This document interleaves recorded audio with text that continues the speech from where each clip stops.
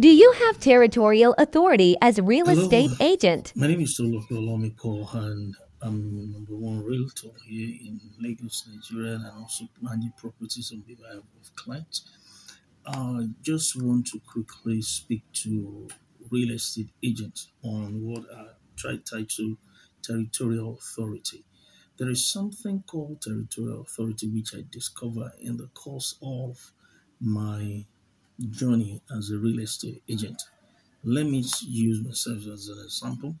I started out in Ketu Lagos, and um, there is something that I observed that I started with uh, renting, you know, leasing, before I proceeded into sales hereabout, and before I started um, extending my uh, practice to other parts of Lagos. Within Ketu, I made sure that I synergize and I network with other agents. You know, two bedroom, three bedroom, duplexes, lease of filling station, lease of land, buying of land, selling of properties. I started out like that. And there was a time I started getting requests, okay, for Magodo, for Omole Phase 1, Omole Phase 2.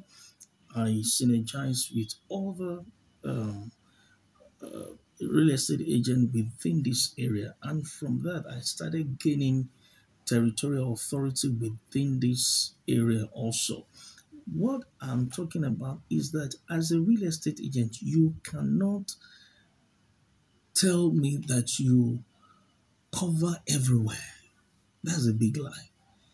If you're living in Ireland, there is some level of control you are within the area. Take, for instance, if you're operating in Aja, you might start out by covering some places in Aja for renting, for sales, for lease, and all those things.